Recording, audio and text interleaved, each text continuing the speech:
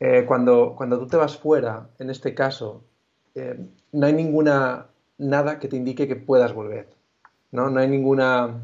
O sea, no te vas, no te vas una temporada corta, y hablo corto, pueden ser 5 o 6 años, sino nada indica en la sociedad, nada indica en España que, que tengamos la oportunidad real de, de volver en algún momento. Entonces, irse en estos momentos es como, como, un billete de ida, ¿no? Lo coges y nunca sabes lo que va a pasar. Por tanto, estás renunciando a, a vivir aquí, cerca de, tu familia y de la gente que quieres, y eso es bastante complicado.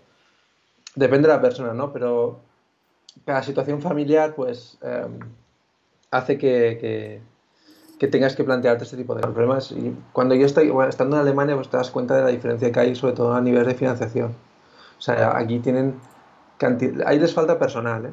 O sea, les sobra dinero y les sobra material, les falta personal. Y esa es la diferencia que tenemos aquí. Aquí para conseguir comprar una máquina que nos haga falta, em, tenemos que sacar dinero de muchos proyectos, sumarlo, juntarlo, ¿no?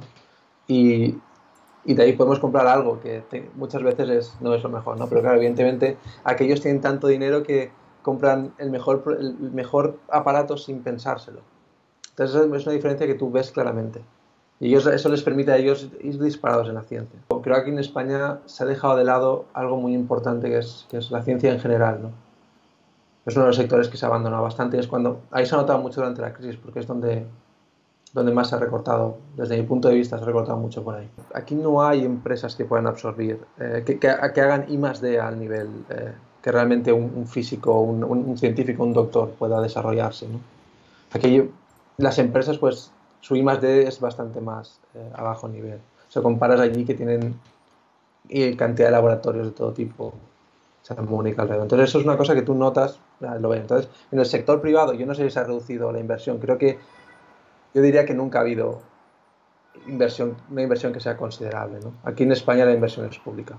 Si, ver, si desde Bruselas nos están exigiendo, recortes, veo muy difícil que, que eh, no afecte a la ciencia, ¿no? Porque eh, los últimos años la política lo más prescindible ha sido la ciencia. Ya puedes verlo cuando empieza el nuevo gobierno, ¿no? Lo primero que se elimina es el ministerio.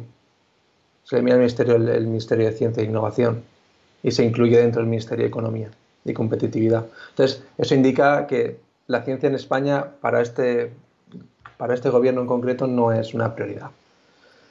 Y eso es un error para mí. Desde mi, desde mi humilde punto de vista es un error porque el, la ciencia es algo que, bueno, la, la, investigación en general es algo que es a muy largo plazo, ¿no? no es cortoplacista. Entonces, cuando tú estás haciendo una inversión en ciencia, no puedes esperar tener eh, un beneficio próximo.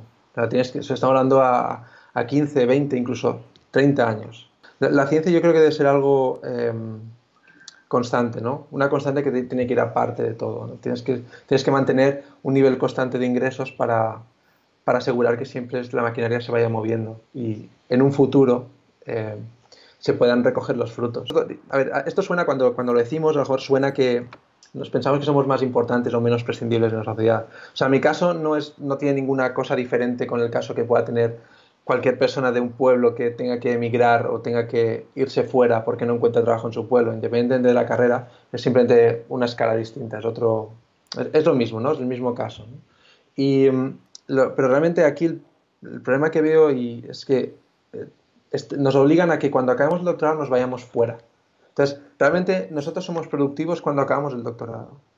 Está bien, yo no veo mal que eh, una persona se le mande fuera durante un tiempo para, poder formarse, aprender idiomas, es muy importante esto en el mundo de la ciencia y sobre todo para hacer contactos, para luego en un futuro hacer, em, bueno, colaboraciones y ese tipo de cosas, es muy importante.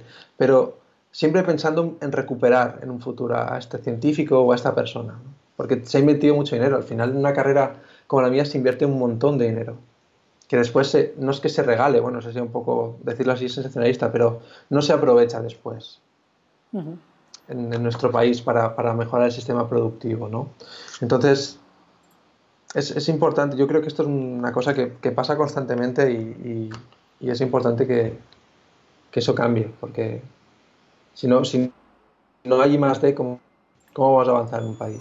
sobre todo si lo comparas en Alemania, donde la inversión es muy grande, es, es muy importante que, que, esto, porque en el futuro al final son, son patentes y cosas que van a aportar mucho dinero, pero está hablando de muchos años en el futuro. Y eso yo entiendo que un gobierno no lo vea, porque a la escala de un gobierno es muy corto, es el, tiempo es muy corto, entonces la ciencia va muy por encima de esto en cuanto a temporal. El, tiempo de ser productivo un, un grupo requiere mucho más tiempo. Pero, pero yo creo que el, sector público es un sector que tenemos que cuidar. Porque cada, sector tiene su parte importante, ¿no? O sea, para mí, o sea, siempre lo divido en dos, en dos partes, ¿no? Al final, el sector público es el que tiene que hacer lo que es la ciencia base, que es la que trabajamos nosotros.